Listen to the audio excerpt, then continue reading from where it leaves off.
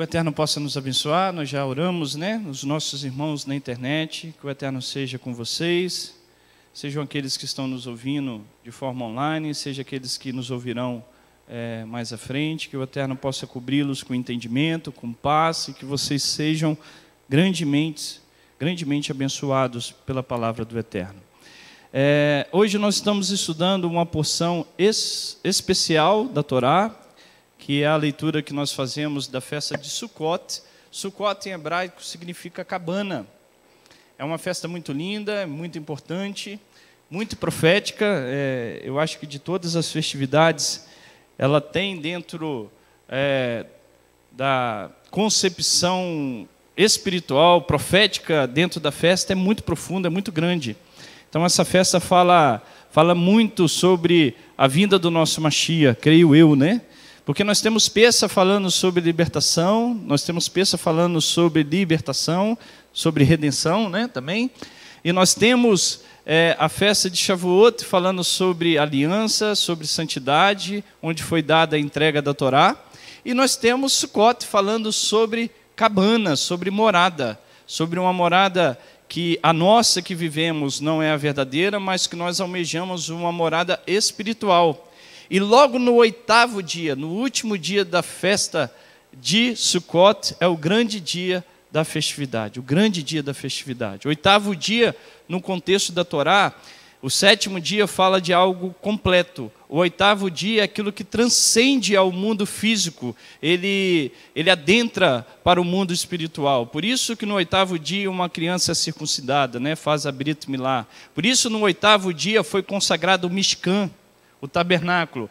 Então, creio eu, Francisco, que quando o pastor José estava aqui falando do oitavo dia, que é algo profético sobre a vinda do Machia, tem tudo a ver. Fala sobre o nosso Machia. Fala sobre a sua vinda, onde nós estaremos vivendo a eternidade com Hashem e o nosso Machia reinando de Jerusalém, né? Então, uma festa muito profética, eu creio que ela fala muito aos nossos corações e que o Eterno possa cobri-los com toda a paz, com toda a alegria que esse dia tem nos proporcionado. Se você for ali fora, você verá a nossa sucá, ela está com o teto revestido da nossa videira, repleta de frutas, repleta de caixa de uvas, de uva. Que coisa mais linda está a nossa videira. Tem aproximadamente 100 caixas de uva numa videira que há dois anos e meio atrás, há praticamente três anos atrás, ela estava toda morta, seca, sem nenhum fruto, sem nenhuma folha. No primeiro ano ela deu só folhagem, no segundo ano já veio alguns cachos pequenos de uvas, deu aproximadamente uns 5 a 10 cachos no máximo, e neste ano deu mais de 100 frutos. Que seja isso um reflexo de nossas vidas, né? Que seja um sinal profético que com a avançada da nossa vida espiritual, não estou falando só como congregação, estou falando da vida familiar de vocês, da nossa vida individual, que o Eterno possa fazer é cada um de nós acolher esses frutos maravilhosos e assim nós possamos apresentar a eles. Né? Irmãos, é, deixa eu contar um pouquinho da história, como que é feito nesse período dentro da nação de Israel, dentro das sinagogas. Hoje, todas as sinagogas, é, nesse Shabat, está é, orando, está lendo o texto de Levítico capítulo 22, até o, o, final do capítulo 23. Por que Levítico? Porque nesse, é, nesse capítulo fala sobre as festividades, sobre o Shabat, sobre Sicote, sobre é, Bicurim, a festa dos primeiros frutos, fala sobre é, Yom Kippur, sobre Rosh Hashanah, todas as festividades englobam o capítulo 23. E também Números 29, que também fala das festividades. Né? Então, em todas as sinagogas, nós saímos da cronologia da porção da Torá, que nós lemos a cada Shabat, iniciando, iniciando em Gênesis, indo até Deuteronômio. E assim a gente sai dessa ordem e por causa da festa de Sukkot, estamos lendo uma porção especial da festa de Sukkot, da festa de Tabernáculo. Logo depois deste Shabat, no dia posterior, celebra Simchat Torá. Simchat quer dizer alegria, Torá todos nós conhecemos, né? A alegria da Torá onde no dia de Simchat Torá, leia-se o último livro da porção, a última porção do livro de Deuteronômio. Eu esqueci o nome da paraxá. É... Olha a última aí. Só você passar a sua Bíblia, David Esther, vai estar o nome. Eu esqueci. É, é 54.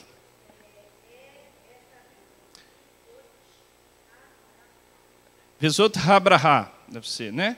É, essa é a benção, isso mesmo. Vesot Habraha é a benção que Jacó dá, que Jacó, que Moisés dá à nação de Israel, né? E assim se encerra o ciclo de estudo da Torá e volta ao ciclo novamente. Quando nós estudamos a Torá, não existe um fechamento do ciclo, ele dá uma continuidade. A gente volta para o livro de Gênesis e iniciamos, iniciamos o estudo novamente.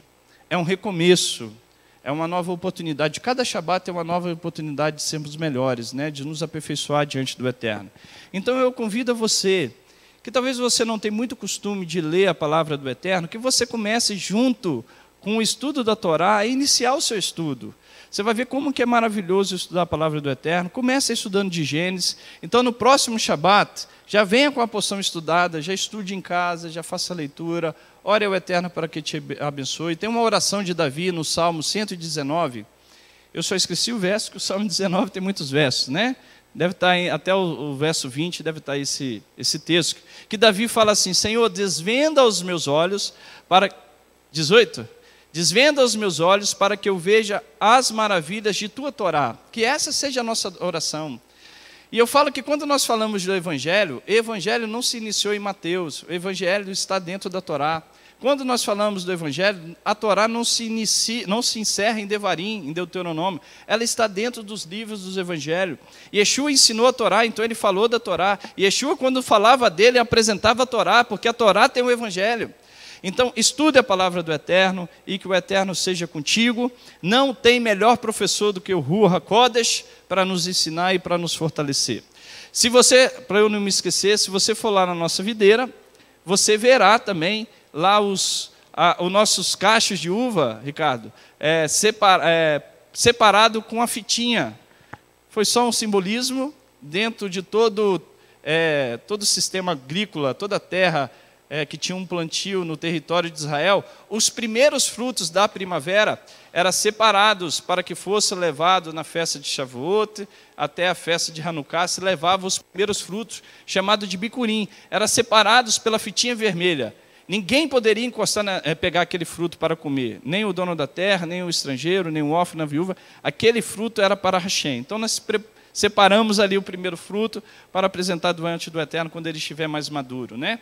que nós sejamos esses primeiros frutos, assim como Yeshua é a nossa, nossa primícia, que sejamos juntamente com Ele, e, nós, e existem promessas bíblicas acerca dessas primícias que nós somos e que nos apresentemos como algo agradável diante do nosso eterno Criador. Então, o judeu, dentro da sinagoga, é, nessa semana, faz a Sinhat Torá, que é a alegria da Torá se reúnem nas sinagogas ou, no, ou, ou nas casas ou na, nas ruas e vão para a rua dançando com a Torá, se alegrando com a Torá. Devido a uma questão logística, nós não conseguiremos fazer isso aqui na congregação durante a semana. Mas eu convido, pastor Zé, aos músicos, para que no próximo Shabat nós estejamos aqui de manhã, aí nós fazemos um momento de muita alegria aqui no serviço da Torá, vamos ler a última porção do Deuteronômio e logo depois nós iniciamos com o livro de Bereshit. Combinado assim? Então, assim, no próximo Shabat, para, por uma questão de logística, a gente não consegue estar aqui durante a semana, mas durante o próximo Shabat, todos estejam aqui e sejam grandemente abençoados. Hoje nós temos poucas pessoas, porque hoje à tarde nós temos a festa de Sukkot, vamos dar continuidade à festividade teremos as nossas crianças louvando o Eterno, teremos as nossas danças, as nossas músicas.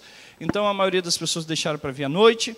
Que você venha estar conosco e que seja abençoado e que nos alegremos neste dia de Sukkot, tá bom? Agora nós vamos começar o nosso estudo, de fato. Levítico capítulo 23, eu gostaria que você abrisse a sua Bíblia. Eu vou ler aproximadamente quatro textos com vocês, que diz assim, está até ali, ó, se você quiser acompanhar. E falou o Eterno a Moisés, dizendo: Fala aos filhos de Israel, dizendo: Ao quinze dias deste mês, sétimo será a festa de Sucote, dos tabernáculos. O Senhor por sete dias. Ao primeiro dia haverá santa convocação, nenhum trabalho civil fareis.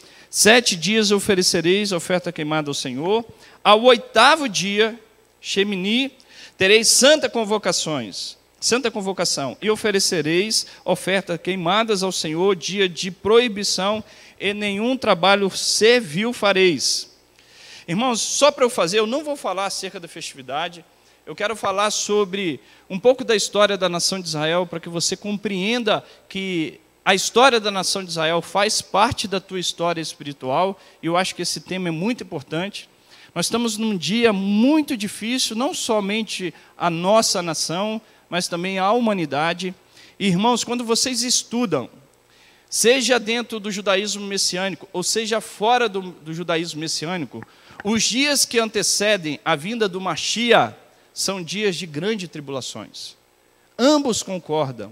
Dias de grandes tribulações, onde a decadência, a palavra do Eterno, ele cada vez mais vai se concretizando na humanidade. Isso não impede, isso não impede que eu e você nos esforcemos para que essa humanidade seja melhor. Pelo contrário, isso dá a nós um senso de responsabilidade que nós precisamos exercer cada vez mais o lado do bem. Estabelecer a palavra do eterno não tira a nossa responsabilidade, mas existem diversas profecias bíblicas que falam que o período que antecede a vinda do Mashiach, se bem que são mais conceitos rabínicos, mas Yeshua também falou sobre isso, que seriam dias difíceis, são dias onde a decadência da palavra do Eterno vai estar cada vez mais estabelecida na humanidade. Por mais que eu tenha a minha convicção política, e eu tenho, e a, e a expresso nas, nos locais onde eu, acho, adequado fazê-las, seja nas redes sociais, seja compartilhando com as pessoas que questionam, mas a minha esperança está exclusivamente em Hashem, e independente das coisas que ocorram, nós continuaremos a caminhar e a orar pela nossa nação e pedir o Eterno para que nos abençoe grandemente. Essa, essa é a minha confiança. Mas isso não tira de mim a responsabilidade de exercer com muita responsabilidade a minha cidadania, o meu direito de democracia. As pessoas religiosas falam assim: eu sou a favor da teocracia, né? Deus estabelecendo a sua vontade. Eu também. Mas por enquanto Deus deu ao homem o direito de dominar sobre a terra. E nós vivemos numa democracia e precisamos valorizá-la. Então eu estou aqui pedindo a você que você faça com muita consciência. Para mim, Francisco, o que vai discernir entre votar ou não em tal pessoa ou naquela pessoa será os princípios da palavra do Eterno. Por mais que os conhecimentos sejam importantes e são, mas os princípios da palavra do Eterno, a benção do Eterno, para mim, é fundamental para que uma pessoa tenha sucesso, seja em qualquer coisa que ele for a fazer. Então, para mim, essa é a referência, é isso que eu vou buscar. Então, eu peço que cada um de nós façamos tendo critério dentro da palavra do Eterno e com muito respeito e com muita oração, tá? Então, falando, só para fazer um resuminho bem rápido sobre a nossa festividade, nós estamos dentro da festa de Sukkot. Os dias que antecedem esse primeiro dia até o oitavo dia são os dias chamados de Hol Hamoed, que são os dias intermediários entre a festividade. Neste dia, você deixa de fazer alguns trabalhos, você diminui o seu trabalho, mas o dia realmente que você celebra a festividade, que você para literalmente o seu trabalho, é no primeiro e no oitavo dia da festa de Sukkot. E nós estamos no sexto dia, né? hoje é Shabat, e hoje também é o dia de Sukkot.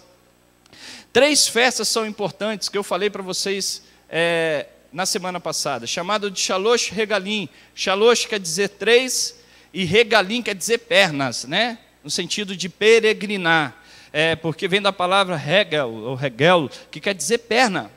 Então são as três festas de peregrinação, onde todo judeu levava os seus primeiros frutos que ele tinha separado lá na sua colheita, e ele apresentava diante de Hashem, juntamente com o sacerdote. O sacerdote, junto com o ofertante, ele segurava a oferta e apresentava e declarava um verso de Deuteronômio, declarando a confiança dele em Deus.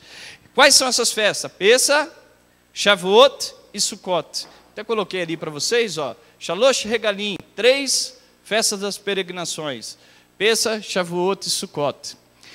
Três vezes ao ano todo homem apresentará diante do Senhor teu Deus no lugar que ele escolher, na festa dos pães asmos, de semana, na festa do tabernáculo, não aparecerá de mão vazia, né? A festa de Sukkot, eu estava ensinando isso semana passada e é só uma um esboço para que a gente não deixe de falar sobre esse tema importante. As festividades, ela fala sempre da evolução espiritual da nação de Israel, que é um reflexo da tua vida. E eu mostrei, ó, Peça fala sobre um degrau, Shavuot fala sobre o outro degrau e Sukkot um degrau mais elevado. Peça, Shavuot, Sukkot. Peça fala sobre graça, libertação, formação de um povo, fala sobre é, primavera. Por que primavera? Qual a estação que nós estamos? Primavera. Adentramos, deve ter o quê? Aproximadamente uma semana.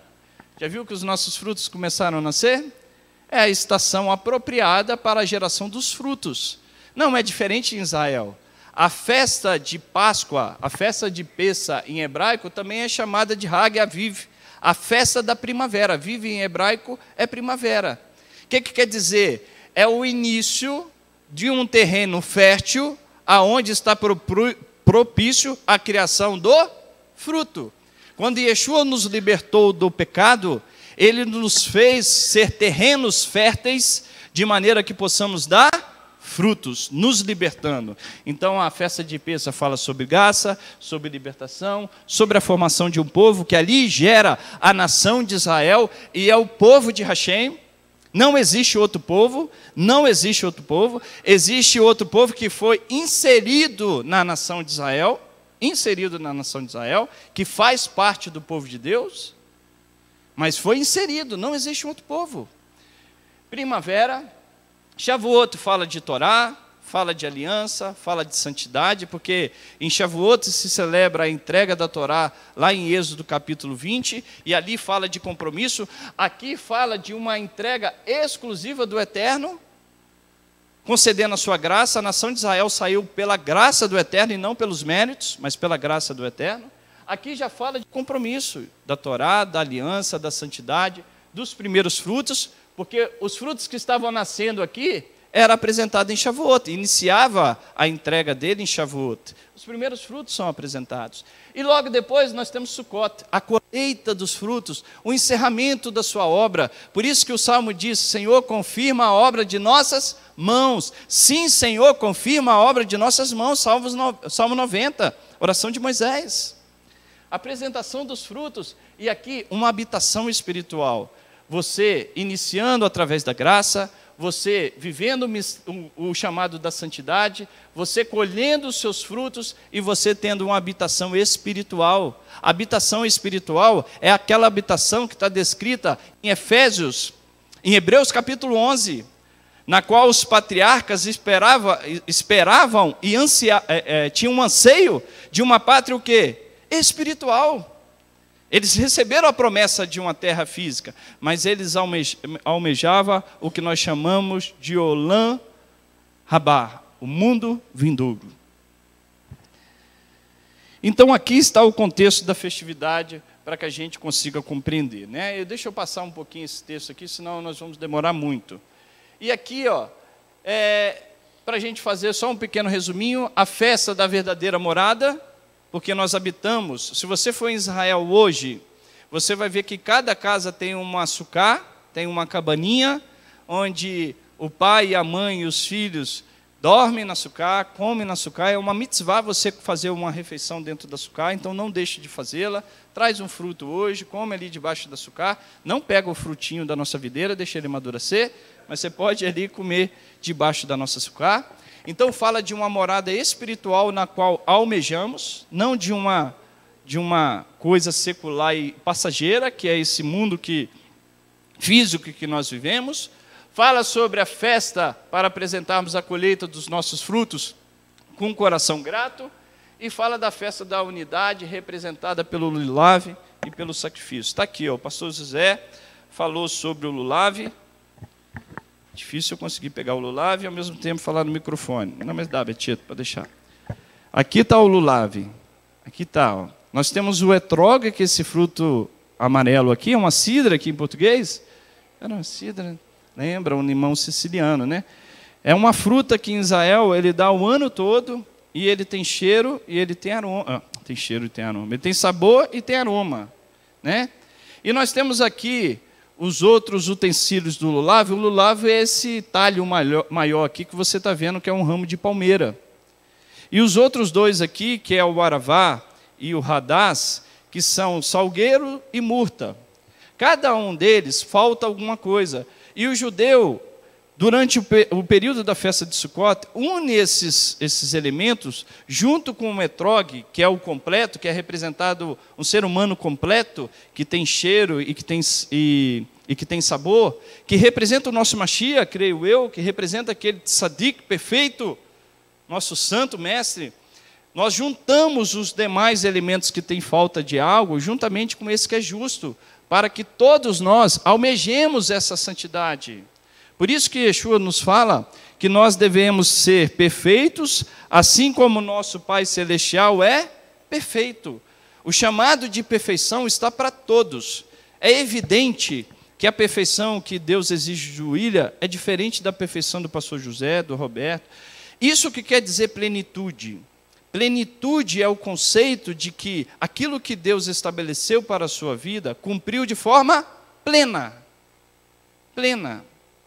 Quando Deus, quando Paulo fala até que a plenitude dos gentios haja entrada, é no sentido de que aquilo que Deus estabeleceu para os gentios se cumpra de forma plena. Esse é o contexto de prosperidade, de plenitude é você ser abençoado e você cumprir em tua vida aquilo que Deus estabeleceu para você, tá? Deixa eu passar aqui para que eu consiga acompanhar com vocês da mesma forma. E agora eu gostaria ali, ó, tá vendo os judeus ali, lá no, no hotel, todos segurando o seu fazendo as suas orações. Representa também, irmãos, é, a, é, representa também o sacrifício dos primeiros frutos que eram apresentados, né? Tem a questão da representatividade, da unidade, e o povo judeu é muito unido, tem suas diferenças, mas quando é esses momentos de festas, de gratidão ao Eterno, independente das suas diferenças religiosas, e aqui você não tenha dúvida que se aqui tiver mil judeus, tem duas mil opiniões, mas eles estão aqui unidos, juntos, agradecendo ao Eterno pelas suas beneficências, pelas suas bondades e pela sua fidelidade. Né? Que sejamos assim também que, independente das nossas diferenças, possamos ser mais unidos. E eu gostaria de iniciar o estudo da festividade falando sobre isso. A história do povo de Deus, judeu é a tua história. História, né? Não história. É a tua história. Por que, que eu quero falar isso, irmãos? Nós estamos dentro de um conceito. É, a festividade, quando nós falamos das festividades, é muito importante que a, nação, que a, comunidade de Yeshua, ou a igreja evangélica, ou católica, o mundo cristão, celebre as festividades, pois fala da sua história, fala da sua da verdade espiritual que está por trás. Você não é um, um menino sem pai e sem mãe, ou uma mulher sem pai e sem mãe. Você é um servo do Eterno, na qual foi resgatado pelo sangue deste Machia, e isso é muito judaico, onde um justo ele, pela sua atitude justa, ele traz benefícios de salvação a outros. Nós oramos aqui diversas vezes, que não foi pelos méritos, mas pelos méritos dos nossos pais, Abraão, Isaac e Jacó. Isso é muito comum. E não existe um sangue, um justo maior do que o nosso Machia, conforme estabelecido pela vontade de Hashem. É nesse sangue desse justo que a justiça da Torá se cumpre em nós, é o que diz Romanos capítulo 8, verso 4. Então nós estamos aqui no mérito desse Machia. Se você celebra, e se você reconhece ao Eterno como teu único Deus, reconhecendo que a tua imperfeição é estabelecida na perfeição do teu Machia, essa história aqui é a tua história. Só que eu não posso pegar só um pedacinho dela e tirar outras partes que são tão fundamentais e importantes para a história da igreja e jogar fora. Nós temos uma história espiritual por trás, você tem uma história espiritual por trás. Mas, Francisco, se nós celebrarmos a festa, talvez o judeu vai questionar que nós não deveríamos. E daí? E daí? E daí? O Eterno estabeleceu pela sua vontade. É lógico que para mim a opinião do judeu é muito importante, eu a respeito. Mas nós queremos comer daquelas migalhas. Precisamos entender isso e receber isso com amor. O Shabat é importante para o homem, é importante para a igreja. A festa de Sukkot se fala sobre peça da redenção do nosso Messias para a nação de Israel e para a humanidade, você há de concordar que eu tenho que continuar estabelecendo isso, coronel. Se Yeshua fez uma brit, ele fez uma aliança com seus discípulos em Peça, e nós celebramos essa aliança pelo menos uma vez no mês, e a igreja evangélica da mesma forma, por que não continuar celebrando Peça conforme Yeshua celebrou? Por que não continuar celebrando Shavuot se Yeshua, se preocupado com o sentido da festa, pede com seus discípulos, aguardem até que dos céus eles sejais revestidos do poder? Por que não celebrarmos Sukkot se Yeshua entendeu que a festividade foi importante e ele sai de uma região distante para ir até Jerusalém celebrar a festa? E quando ele vê o sacerdote descendo no tanque de Siloé e pegando água, que esse era um ritual feito quando havia o templo, o sacerdote descia até os, o tanque de Siloé, né, Siloar, Siloé em português. E ele pegava a água desse tanque, ele voltava pelo lado sul, que tinha uma porta chamada Porta das Águas, por causa dessa cerimônia, e ele fazia isso no, no dia de, de e ele derramava isso diante do altar. Quando Yeshua vê essa cerimônia, por que, que fazia isso? Porque a nação de Israel é totalmente dependente da chuva para que a nova estação de frutos possa ocorrer. E Israel fazia esse simbolismo sobre o altar, de derramar a libação da água, pedindo ao Eterno para que abençoasse a nação de Israel com a chuva, para que pudesse ter o fruto do próximo ano. E quando Yeshua vê esse derramar da água, ele fala que eu sou a água que jorra, jorra para a vida eterna. Lá na festa de Sucote, dentro de Jerusalém, havia uma menorá, e o Talmud cita isso, uma grande menorá que era acendida, que os sacerdotes, os levitas tinham que Subiram uma escada para acendê-la e ela ficava no topo. Jerusalém fica numa montanha.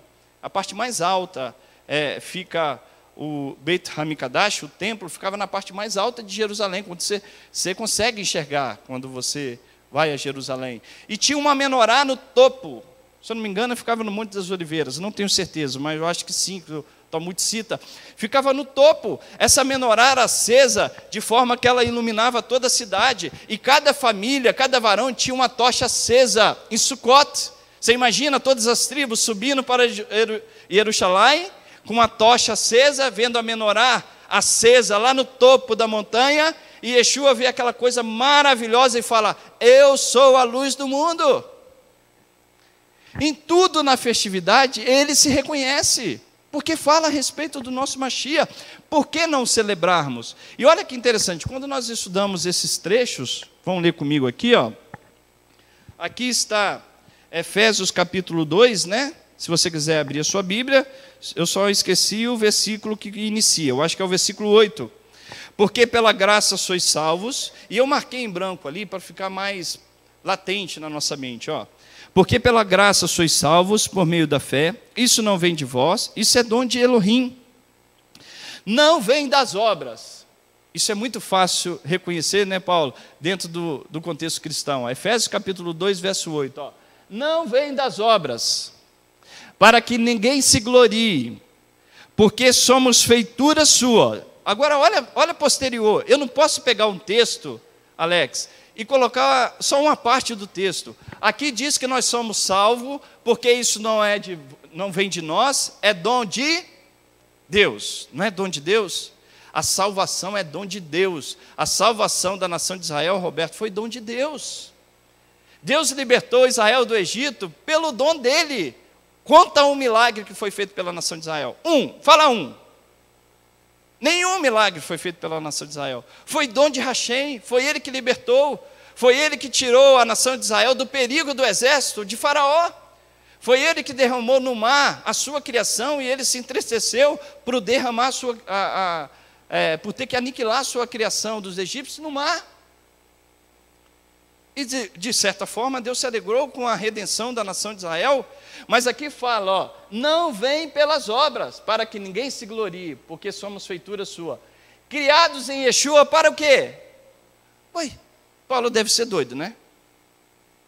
Paulo deve ser doido. Lógico que eu estou fazendo aqui uma brincadeira, né? Uma sátira. Porque Paulo fala que não vem, não vem pelas obras, mas logo depois Paulo fala que nós somos criados em Yeshua para quê? As boas obras. Você lembra da escadinha? Peça, graça, Shavuot, compromisso, aliança. Nós somos salvos pela graça, isso não é pelas obras, mas de certa forma nós fomos criados em Yeshua. Yeshua não representa a redenção de Peça? Ele não representa a libertação de Peça? Nós somos criados por Ele. Para o quê? Para as boas obras. Para boas obras para que ninguém se glorie, porque somos feitura sua, criados em Yeshua para as boas obras, a quais Deus preparou para que andássemos nela. Deus preparou para que você andasse nela. Portanto, lembrai-vos de que vós outrora, vós, no outro tempo, eres gentios na carne, e chamados incircuncisão, pelos que na carne se chama incircuncisão, feito pela mão dos homens. Tudo que está em branco, você presta atenção. Que naquele tempo estáveis sem o Machia, separados da comunidade de Israel, estranhos à aliança e à promessa. Estranhos às alianças e às promessas. Irmãos, existe uma diferença muito grande no Taná entre aliança e promessa. Existe uma diferença. Embora que dentro das alianças haja promessas. Mas eu quero te mostrar que promessas são essas. Não tendo esperança e sem Deus no mundo, mas agora em Yeshua, vós que antes estavais longe, já pelo sangue do Machia chegasse perto, porque ele é a nossa paz, o qual o ambos os povos fez um, e derrubando a parede de separação que estava no meio, na sua carne fez a, a, a inimizade,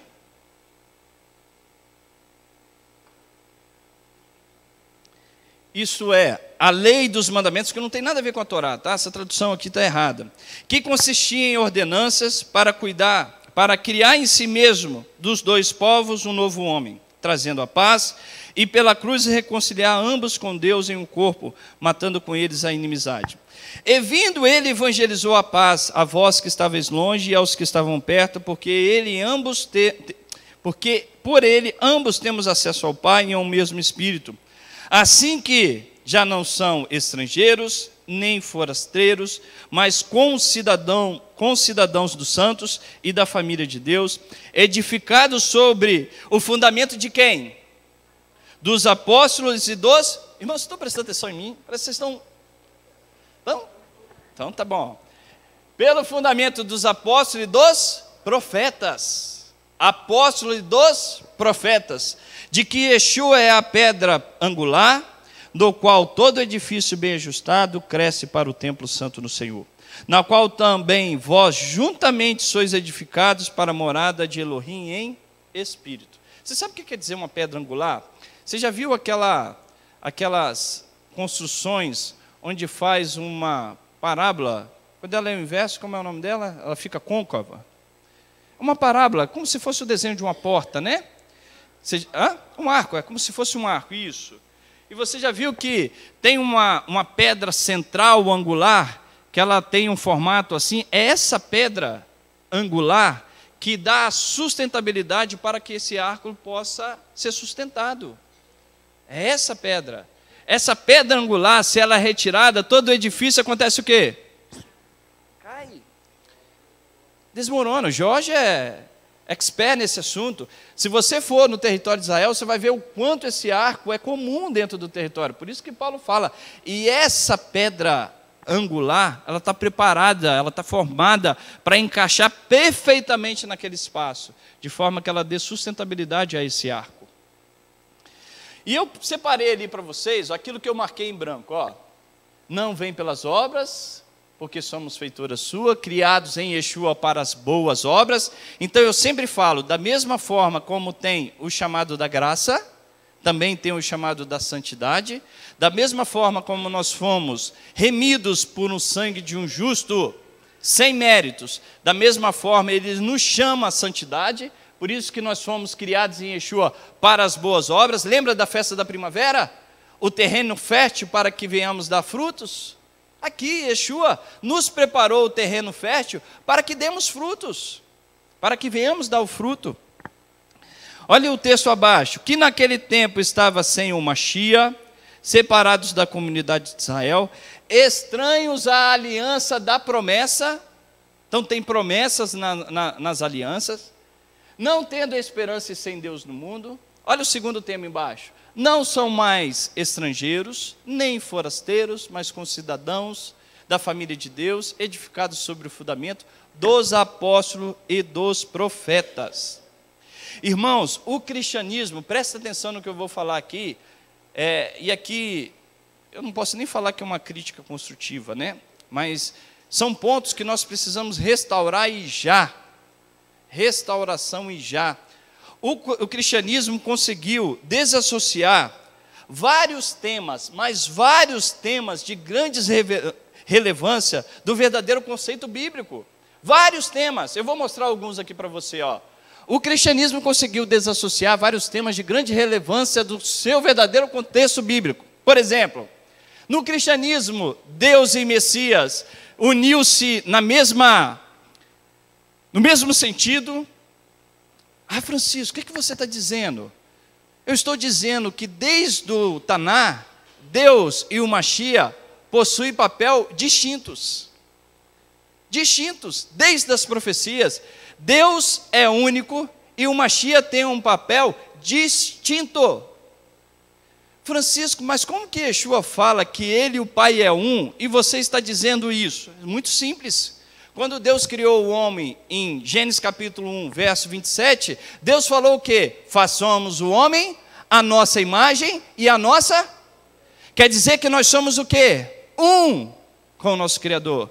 É muito simples. Quando Deus diz que deixar, deixará o varão, su, o seu pai e a sua mãe, e se unirá a uma mulher, e serão os dois. Vou te perguntar: o homem e a mulher são as, é, é a mesma pessoa? São a mesma pessoa? São pessoas distintas, estou falando pessoas para você entender, né? Porque longe de mim falar que Deus é uma pessoa ou limitar Deus numa matéria, mas só para que haja compreensão. Quando eu falo entre é, o homem e a mulher se tornar um, eu estou falando que os dois é a mesma pessoa? Não, são diferentes, mas podemos ser um. Isso no Taná é muito simples. O cristianismo botou tudo dentro do mesmo bolo. Você vai dentro das igrejas evangélicas, você não sabe é, quem é Deus, quem é Yeshua, quem. Ah, é, Jesus, Criador de todas as coisas, Yeshua, é, Jesus, é, que é aquele que criou os céus e a terra, e assim vai, vira uma bagunça danada. Deus é o Criador dos céus e da terra e tudo que nela há. Isso não tira a divindade do nosso Machia. Não existe debaixo dos céus ou nos céus nenhum nome que é superior ao nome do nosso Machia. Não existe. É lógico que estou tirando e excetuando o nome de Hashem, mas sobre ele está o nome de Hashem. Isso faz, quando você fala no judaísmo que alguém é um com você, quer dizer que o pensamento que o objetivo, que a essência, que a mensagem daquela daquele que mensageiro, ou daquele anjo, ou daquele é, malar no hebraico, aquele mensageiro, é a mesma daquele que o enviou. E isso faz com que ele tenha os atributos daquele que o enviou.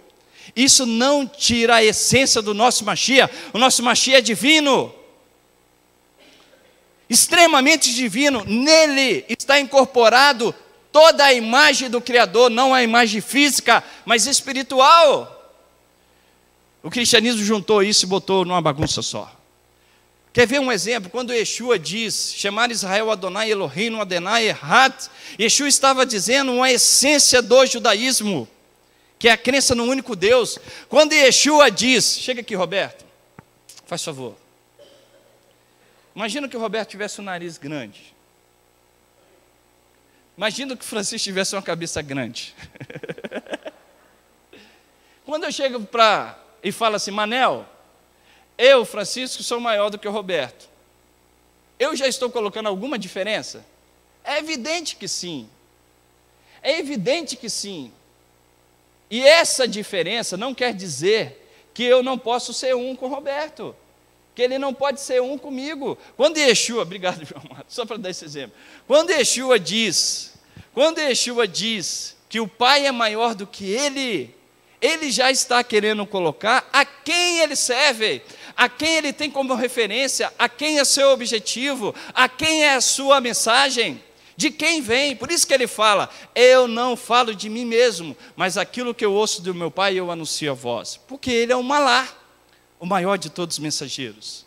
Nele está é, toda a divindade se encontra nele. O cristianismo botou tudo dentro do mesmo papel. Você quer ver outra coisa? Torá e maldição. Algo totalmente antagônico. Torá e maldição. Ah, vocês estão querendo voltar para aquela maldição da lei? Quem te ensinou que a Torá é uma maldição? A maldição é a transgressão da lei. A maldição é você entender que você está fora dos princípios da palavra do Eterno. Quem te ensinou que Torá e maldição são coisas similares? São antagônicos. O cristianismo bota a mesma coisa de graça e obra. Eu não preciso praticar obra. Yeshua já veio, eu sou cheio da graça, né? Dentro do cristianismo, lei e santidade é a mesma coisa. Eu, esses dias eu estava ouvindo um pastor muito, muito é, conhecido no mundo cristão, Aí uma pessoa perguntou a ele sobre a teoria da prosperidade, né? a teologia da prosperidade. E ele foi dizer que a teologia da prosperidade ela é falsa. E ela é mesmo. Dentro desse conceito que grande parte do cristianismo adotou, é lógico que muitos não adotaram também, mas diz que, ah, se você é rico é porque você tem a bênção de Deus, ou se você tem escassez é porque você não tem. Essa teologia, ela não é verdadeira. Aí ele foi dizer, ele foi explicar a teologia bíblica, e ele estava certo, ele citou certo, da prosperidade, ele diz: é, Bem-aventurado é o homem que anda segundo a lei de Deus, nela medita de dia e de noite, será como árvore plantada junto a ribeiros de água, na qual dará o seu fruto na estação. Que lei é essa? Que lei é essa que Davi se referia?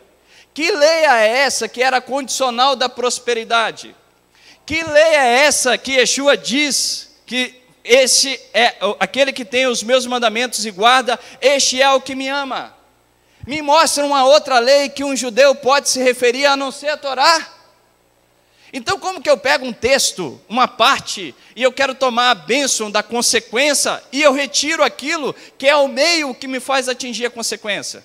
Se eu quero a prosperidade, eu tenho que obedecer os meios que me levam à prosperidade. Como que eu posso pegar uma parte? Francisco quer dizer que o gentil precisa guardar toda a lei? É evidente que não. É evidente que não. Há leis para o judeu, para não judeu, há lei para homem, para mulher. Obedeça aquilo que o Eterno lhe der condição. Dentro do cristianismo parece que é uma, uma bagunça. Ah, você não come carne de porco? Não coma mesmo não, por um preceito bíblico. Ah, então você está condicionando a sua salvação por não comer. Tira isso da sua mentalidade, irmãos. Não é um conceito de salvação, é por causa de um chamado que o Eterno deu a todos aqueles que confessam Yeshua como seu Messias. No judaísmo, isso é muito compreensível. Existe, Roberto, é, responsa não é responsabilidades, como que eu posso dizer? Priori hierarquia de mandamento. O que, que é melhor? Você não maltratar o seu irmão ou você comer carne de porco? O certo é você não fazer os dois. Mas entre você maltratar o seu irmão e deixar de comer carne de porco, coma porco e faça bem ao teu irmão. O que, que é melhor, guardar o Shabat ou você viver na prostituição? Oh, eu vou dar um exemplo. Uma vez eu, eu, eu tenho esse tio amado ainda, né? Graças ao Eterno. Ele se separou da mulher, ele foi viver com a outra mulher, e ele guarda o sábado, né? Ele é de uma congregação que, é, evangélica que guarda o sábado. E ele chegou para mim e eu estou compartilhando porque você conhece, por isso mesmo que ele ouça, ele vai lembrar disso e toda a família sabe dessa história. Ele chegou para mim e falou assim, ele me levou para lanchar. Aí ele falou assim, me dá um X-bacon, mas tira o bacon. Falei para ele, falei assim, mãe, por que você está pedindo para tirar o bacon? Aí ele falou assim, ah, mas porque eu, eu quero obedecer a lei. Eu falei, tio, você está vivendo numa casa de uma prostituta, abandonou sua mulher e você está deixando de comer carne de porco por causa de um princípio bíblico? Vê se tem lógica, irmãos, o que eu estou querendo dizer. Por isso que Yeshua disse que, nós, como que ele fala? Que nós comemos um camelo, que, citando? Hã? Engolimos o mosquito, eu esqueci esse verso. Co co coamos o mosquito e engolimos um camelo. Para nós, as pessoas acham que é mais importante diante de Hashem tirar uma carne de porco do que ser fiel ao eterno e outras coisas. É evidente que não. O certo é você não se envolver com a prostituição nem com a carne de porco. Mas uma coisa é mais importante do que outra, sim. Quando você vê um judeu separando a carne de porco da sua mesa, ele está querendo o Eterno está querendo ensinar a um judeu ou a qualquer um que assim como ele separa o seu alimento entre o puro e o profano, que ele separe a sua língua entre o puro e o profano, que ele separe os seus olhos entre o puro e o profano, que ele separe a sua mente entre o puro e o profano, que ele separe a sua sexualidade entre o puro e o profano. É isso. É uma forma didática de nos ensinar. Uma forma simples que nos ensina, mas tem mandamentos que são mais importantes do que outros. Você não tenha dúvida que o judeu sabe disso. Não tenha dúvida. E você quer, você quer uma triste notícia? Nós nos preocupamos e somos mais fiéis aos menos importantes. Nós nos preocupamos e somos mais fiéis aos mandamentos menos importantes. Esquecemos dos, dos maiores. Esquecemos dos maiores. Separamos Israel da igreja. Me mostra, me mostra igreja ou comunidade de Yeshua sem Israel. Me mostra na Bíblia. Eu, eu desafio a qualquer pastor me mostrar na Bíblia igreja sem Israel. Se Yeshua diz que veio, se não para as ovelhas perdidas da casa de Israel, e eu vou te mostrar mais à frente, por que, que ele fala esse texto? Como que eu posso ter igreja sem Israel? Sai dessa teologia romana, do dispensacionalismo de que existe um Deus que antes tinha cobrava a lei, agora é o Deus da graça, que antes o chamado era para Israel, agora está sobre a igreja, que a igreja vai ser arrebatada porque Israel vai voltar a um período do templo que fala da lei, aí ela não pode viver o período da lei, ela vai para o céu, depois ela volta para julgar. Eu falo que é mais difícil crer nessas teologias do que do que crer no que realmente a palavra do Eterno ensina. Aliança e promessa. Nós não lemos lá no texto de Efésio que nós agora somos participantes da aliança e da promessa? Ressurreição e morada celestial. Vou morar no céu. Vou te contar uma notícia muito triste para você. Se você quer morar no céu, você vai ter que pegar uma espaçonave, esperar que a NASA consiga mostrar uma estação lá em Marte, porque aí você consegue morar. Porque eu vou te mostrar o princípio bíblico. É lógico, meu irmão, que eu espero um mundo vindouro. O judaísmo e os judeus esperam pelo mundo vindouro. Mas antes desse mundo vindouro, eu quero te dizer que a sua morada com Yeshua é aqui. Francisco vai ser esse mundo que nós estamos vendo? Não sei te dizer. Provavelmente, irmão Paulo, não. Porque o Eterno nos diz que aquilo que os olhos não viram, que os ouvidos não ouviram, é o que o Eterno tem preparado para nós. Se o nosso corpo físico hoje não passa de 120 anos, e com o nosso machia nós vamos viver a eternidade, é evidente que o mundo físico, biológico, ou sei lá, o nosso corpo biológico, a nossa saúde, o nosso corpo como um todo, vai haver uma modificação. Como que ocorre isso, Francisco, quando eu estava em Gênesis, que nós vamos estudar na próxima paraxá, que o Eterno fala que a terra estava tovu varrovu, sem forma e vazia, quer dizer que ela não tinha condições de ter habitação humana, ela estava fora da ordem. E Deus deu uma ordem de maneira que a vida pudesse existir, vai ser da mesma forma, algo no mundo espiritual e físico há de se modificar. Mas eu não posso deixar de te dizer que você vai tomar um banho de praia em algum momento. E vai eu não posso deixar de dizer que você vai subir a Eruxalai para celebrar Sukkot, porque vai. Eu não posso dizer que você vai ter o Shabat na tua vida, porque vai. Eu não posso dizer se você não gosta de estudar a Torá, então você não está apto, ou você não vai gostar do reino do nosso Machia. Eu vou falar apto, né? Porque não sou quem eu sou eu para dizer que alguém está apto ou não. Mas se você não gosta de estudar a Torá e o Evangelho, então você precisa aprender a gostar, porque você vai estudar muito. Dentro, Jorge, da, da, da, da compreensão judaica existe a hermenêutica. A hermenêutica, existe quatro ferramentas que nos fazem entender o texto bíblico. Existe um que é chamado de sod, que é hebraico significa segredo, onde os judeus ensinam que cada palavra da Torá, ela tem um significado é, literário e ela tem um significado espiritual, um segredo por trás. E o Machia há de revelar isso. Você pega diversos textos talmúdicos que diz que a Torá que será ensinada pelo Machia nunca se ouviu sobre a face da terra. Nunca se ouviu. Então, se você não gosta de estudar a Torá, aprenda a estudar Bereshit até Devarim, aprenda a estudar os profetas, aprenda a estudar a, o Evangelho. É lógico que vai estar um complemento muito maior. Porque se Moisés viu um, um, um, um mexicano espiritual para fazer um terreno, você imagina se esse espiritual estiver conosco? Quão grande será essa revelação? Se você quer ressurreição sem viver o reinado do nosso Machia aqui nessa terra, então você não reconheceu o verdadeiro chamado da ressurreição. A igreja distorceu isso aqui tudo. Ressurreição, ah, vou morar no céu. Igreja Israel, existe igreja e existe Israel. Aonde? Aliança e promessa. Ah, nós estamos debaixo da aliança de Yeshua. E qual a diferença da aliança de Yeshua para a aliança de Abraão? Qual a diferença da aliança de Yeshua para a aliança de Moisés? Qual a diferença da aliança de Yeshua com a aliança de Davi? Existe uma diferença, que ele não vai escrever nas tábuas de pedra, mas de quê? De coração. A forma mudou, mas o conteúdo é o mesmo. Mas no teu coração. Vamos ler, olha aqui, ó. Eu, nós cantamos esse, esse louvor, Jorge, é, na festa de Sukkot, né? Esse louvor diz assim, ó. Aqui é o texto de Lucas, capítulo 2, verso 25 a 32. Diz assim, ó: Havia em Jerusalém um homem cujo nome era Simeão. E este homem era justo e temente a Deus, esperando a consolação de Israel. E o Espírito Santo estava sobre ele. E fora revelado pelo Espírito Santo que ele não morreria antes de, ser, antes de ter visto o Messias do Senhor.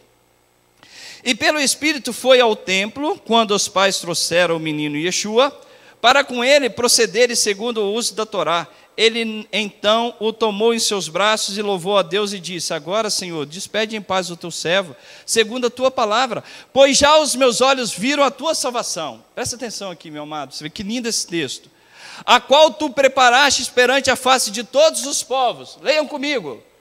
Luz para iluminar as nações e para a glória do teu povo. Para a glória do teu povo. Irmão, você sabe o que, que Simeão estava querendo dizer? Que existem profecias bíblicas acerca do Machia, que diz sobre uma restauração, que diz sobre uma reunião, que existe sobre uma restauração e um chamado para a ação de Israel, na qual o Machia há de cumprir para com o seu povo. Aí eu faço uma pergunta a vocês: desde quando o nosso Machia veio para estar aqui conosco, que momento que Israel foi glorificado? Em que momento? Existe ainda, existe ainda Infelizmente, eu não vou dizer infelizmente que existe um propósito do eterno, mas ainda existe uma pendência a ser curada, a ser restaurada entre Machia e Yeshua Hamashia e o seu povo. Porque ainda não vi a glória do povo de Israel com Yeshua. Não vi. Quando nós estudamos a Bíblia, eu falei aqui mais desse contexto da hermenêutica, né? Existem vários contextos da Bíblia que tenta representar ou são é, características proféticas de outros acontecimentos. Quem conhece a história de José e seus irmãos? Quem conhece? O dia que estudar para achar Vaisgash, para mim é uma das paraxás mais lindas, que é o encontro entre José e seus irmãos. Quando você estuda a história de José e os seus irmãos, ela tipifica tão profundamente a história de Yeshua com seu povo que eu quero mostrar com vocês aqui a semelhança. Olha comigo, olha comigo aqui rapidinho. Vai comigo em Gênesis, Gênesis, capítulo 37, vai lá. Gênesis 37. Eu preciso ler aqui, ó. Bom que está ali que eu não fico de costas para os irmãos. Gênesis 37 diz assim, ó. Presta atenção aqui, depois você vai ler todo o texto. Mas o que, que aconteceu com José? Primeira coisa, teve José um sonho. Então lhe disseram seus irmãos: Tu, pois, deverás reinar sobre nós, tu deverás ter domínio sobre nós. O que, que José fez? Ele teve um sonho, ele contou para os seus irmãos, e os seus irmãos disseram: Por acaso você reinará sobre nós? Você, José? Isso foi diferente com Yeshua? Não. Yeshua disse a mesma coisa aos seus irmãos: Por acaso você é rei sobre nós? Tu é rei dos judeus? Zombaram dele. Da mesma forma que os seus irmãos zombaram de José. Primeira característica. Primeira, da mesma forma. Segunda, e viram-no de longe, e antes que chegasse a eles, conspiraram contra ele para o. Você lembra de uma história de um judeu chamado Yeshua Hamashia, que havia um sinédrio que tentaram conspirar contra ele para matar? Foi diferente com José? Foi diferente com seus irmãos? Mesma. Olha a característica, segunda característica que eu estou te mostrando. Terceira, Aqui está 37, 18, Gênesis. 37, 23. E aconteceu que, chegando José a seus irmãos, tiraram de José a sua túnica, a túnica de várias cores que traziam. Tiraram a túnica de Yeshua, mesma. Ah, Francisco, lá foi os soldados romanos que tiraram a túnica. Irmãos, quando você estuda a, a hermeneuta judaica, nem tudo se assemelha, mas as características das histórias se falam elas se representam. Da mesma forma, tirar a, a túnica de José, a túnica que representava ele como filho é, que talvez seja o mais amado, o mais aproximado, e tiveram inveja de tirar a túnica de José, tirar a túnica do nosso Machia. Terceira semelhança. Quarta, então Judá disse aos seus irmãos: Que proveito haverá que matemos a nosso irmão, escondamos, escondamos o seu sangue. Logo depois, o que, que eles fizeram? O que, que Judá fez? Pegou José e vendeu por 20 moedas de. Pegou Judá e vendeu José por 20 moedas de prata. Quem foi que vendeu Yeshua? Judas, 30 moedas de prata. Vendeu por moeda, José vendeu por moeda a Yeshua Hamashia. Você sabe como que é o nome de Judas em hebraico? Yehudá. Você sabe quem foi que vendeu José para os ismaelitas? Juda e Erudá. São homônimos. Mesmo nome em hebraico. Quarta semelhança. Quinta. Por que você acha. Aí, aqui eu coloquei. Por que, que você acha que, no meio da história de José, se interrompe a história de José e entra a história de Judá e Tamar. Quem são Judá, e Tamar? Se não ascendentes de quem? De Davi. E ascendentes de quem? De Yeshua. Por isso que se interrompe a história de José no meio e começa a contar a história de Judá e Tamar, falando acerca da ascendência do Messias, porque essa história profetiza acerca do Machia. Sexta semelhança: e disse Faraó a seus servos: Acharíamos um homem como este, e quem age o Espírito de Deus? Depois disse Faraó a José: Pois que Deus te fez saber tudo isso, ninguém há tão entendido e sabe como tu, tu estarás sobre a minha casa, e a tua boca se governará todo o meu povo, somente no trono eu serei maior do que tu. Longe de mim comparar Faraó ao eterno, mas assim Yeshua foi comissionado. Assim Yeshua foi estabelecido, ele reinando para sustentar todas as nações, como José foi levantado. E aí eu quero que você vá em Gênesis capítulo 42. Para as duas últimas semelhanças que para mim são fundamentais. Quando Jacó soube que havia mantimento no Egito, disse a seus filhos: Por que estáis olhando uns para os outros? Disse mais: Tenho ouvido que há cereais no Egito, descei até lá e comprai-o deles, para que vivamos e não morramos. Você lembra, irmã Janine, que eu disse que antes da vinda de Yeshua, grandes tribulações virão? E essas tribulações foram fundamentais para o encontro de seus irmãos com José. Não vai ser diferente com, no... com o nosso povo judeu. Grandes tribulações virão para que haja encontro dos judeus com o seu Mashiach Yeshua. Yeshua mesmo disse: Não me vereis mais, até que venha e diga: Baru Rabá Bishem Adonai. Grandes tribulações virão. Então desceram os dez irmãos a José para comprar cereal. A Benjamim, porém, irmão de José, não enviou Jacó com seus irmãos, porque dizia: Para que não lhe suceda algum desastre. Verso 7: Vendo José os seus irmãos, reconheceu-os, mas comportou-se como estranho para com eles. Você acha que Yeshua não reconhece os seus irmãos? Não sabe para quem ele veio? Você acha que Yeshua não está cuidando e dando alimento para com seus irmãos? É assim que a igreja ensina, né? Ah, esse povo que cometeu deicídio, não que a igreja fala isso hoje, né? Mas a teologia é a mesma. Esse Deus, esse Yeshua, esse povo que cometeu deicídio, esse povo que matou Jesus, esse povo que o negou, que parte eu tenho com ele? Vai dentro das igrejas falar de festividade, falar de povo judeu. É lógico que a igreja está despertando, mas muitos estão dentro dessa teologia ainda. Verso 8: José conheceu seus irmãos, mas eles não reconheceram. Você acha que Yeshua conhece seus irmãos? Você não tenha dúvida, os seus irmãos não conheceram. Então se lembrou José dos sonhos que tiveram a respeito dele e lhe disse: Vós sois espias e vieste para ver a nudez da terra. Responderam: Não, meu senhor. Os teus servos vieram comprar mantimento. Nós somos todos filhos de um mesmo homem, de um mesmo Adonai. Nós temos o mesmo Deus, o mesmo Criador. Os teus servos são homens de retidão, não, so, não somos espias. Disse-lhe ele: Não, vós vieste, vieste ver a nudez da terra. Eles responderam: Nós, teu servo, somos doze homens, doze tribos, filho de um homem da terra de Canaã. O mais novo está com ele, e um já morreu. Um já morreu.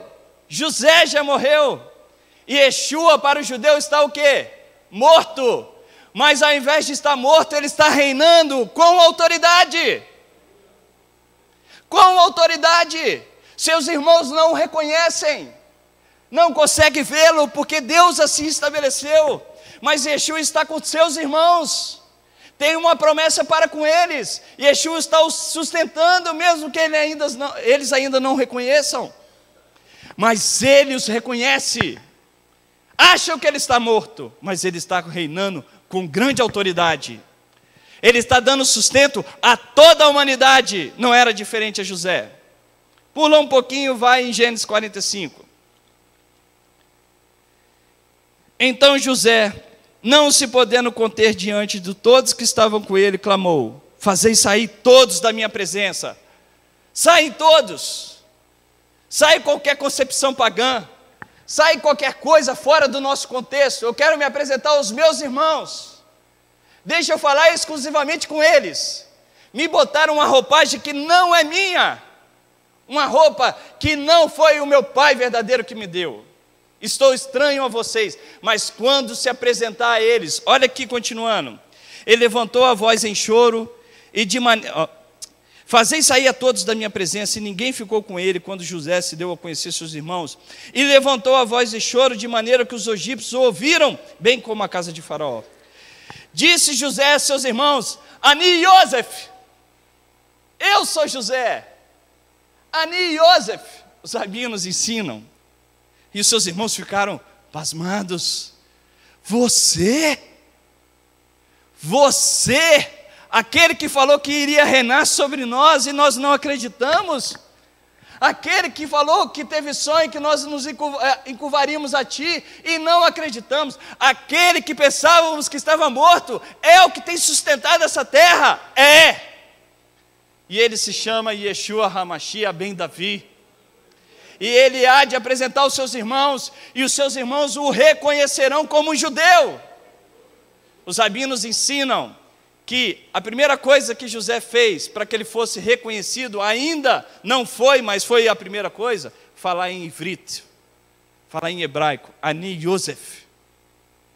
Eu sou José. A segunda coisa foi o sinal da circuncisão a Brit Milá. Apresentou a Brit Milá, sinal de todo judeu. Eu sou judeu, eu sou José, filho de meu pai Yaakov, eu sou Yeshua Hamashia, filho de Adonai Elohim, o único. E vi como Machia para resgatá-los, assim como Moshe, assim como Moisés, para uni-los novamente e o José faz o quê? Une os seus irmãos no melhor da terra. E Yeshua vai unir os seus irmãos no melhor da terra. E para qualquer judeu, o melhor da terra chama Jerusalém. Eretz Israel, a terra de Israel. Não é Nova York, não é Brasil, não é Rio de Janeiro, não é, é Arraial do Cabo, não é Bahamas, é Jerusalém, lugar simples, humilde, aonde os tronos de justiça estão estabelecidos. É lá que será o melhor da terra. Yeshua vai reunir os seus irmãos de volta. Vai reunir de volta aqui. Você quer ver profecias sobre profecias?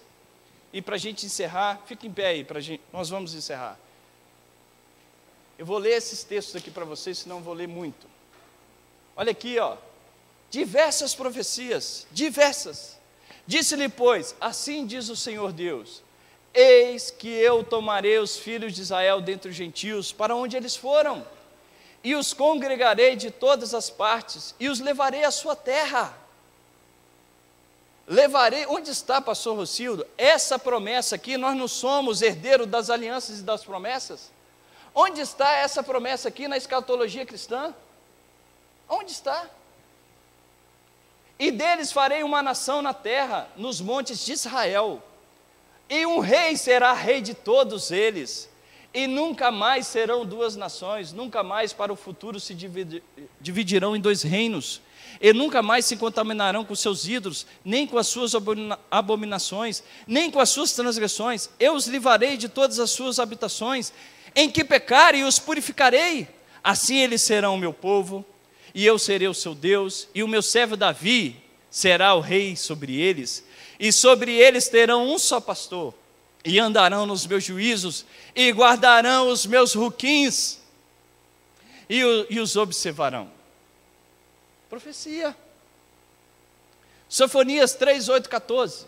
Portanto, esperai-me, diz o Senhor, no dia que eu me levantar para o despojo, porque o meu decreto é ajuntar as nações, as nações, e congregar os reinos, para sobre eles derramar a minha indignação e todo o ardor da minha ira, porque toda a terra será consumida pelo fogo do meu zelo. Porque então darei, porque então darei uma linguagem pura. Você lembra que eu falei do hebraico uma vez? Uma Lashon HaKodesh, uma língua pura, para que todos invoquem o nome do Senhor, para que o sirva com o mesmo consenso. Francisco, Deus vai dar uma língua só? Sim, ele não dividiu as línguas, por que, que ele não é poderoso para fazer de volta? Da lei dos rios da Etiópia, meus zelosos adoradores, que constituem a filha dos meus dispersos, me trarão sacrifícios, sacrifícios é pacíficos, não de animais. Shelamim, desculpa, passei aqui. Naquele dia não te envergonharás de nenhuma das tuas obras com as quais te rebelaste contra mim. Porque então tirarei do meio de ti os que exultam da sua soberba, e nunca mais te ensoberbecerás no meu santo monte. Mas deixarei no meio de ti um povo humilde e pobre, e eles confiarão no nome do Senhor. Os remanescentes de Israel não cometerá iniquidade, nem proferirá mentira, e na sua boca não se achará língua enganosa, mas serão apacentados e deitar-se-ão, e não haverá quem os espante. Canta alegremente, a filha de Sião, rejubila Israel, exulta de todo o coração, filha de Jerusalém. Quando a gente canta, nós estamos cantando uma promessa. Levanta-te, resplandece, porque ter, já vem a tua luz, e a glória do Senhor vai nascendo sobre ti. Porque eis que as trevas cobriram a terra e a escuridão os povos, mas sobre ti virá surgindo, e a sua glória virá sobre ti, e os gentios caminharão à tua luz, e os reis ao esplendor de ti nasceu.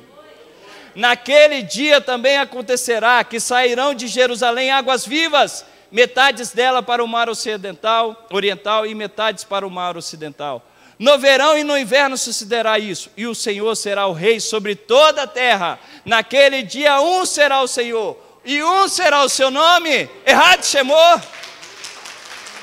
Irmãos, isso é uma realidade. Isso é uma realidade. O que, que eu quero concluir? As festividades é a tua história. A história da nação de Israel é a tua história. Se você ainda não aprendeu a buscar a Santa Torá, que todos nós viemos aprender, e viemos a ler e a confiar que rachia o nosso caminho, que tribulações enfrentaremos, mas essas tribulações são necessárias. Eu vos levarei ao deserto e falarei ao coração. Eu confio em Rachem e sei que ele há de cumprir essas promessas para com a nação de Israel. Nós temos um monte de brasileiro com sangue judeu sobre a veia. Precisamos resgatar isso na nossa nação e na nossa congregação. É importante, você faz parte dessas promessas. Um monte. Não quer dizer que todos que têm nome Avarenga, Ribeiro, Silva, Oliveira são judeus, mas boa parte são. E precisamos resgatar a santidade da Torá sobre nós, porque o nosso Machia virá e nos levará para a terra dos nossos pais, dos nossos ancestrais, porque assim o Eterno prometeu. Francisco, como que nós vamos de avião, de trem, de submarino? Não sei te dizer.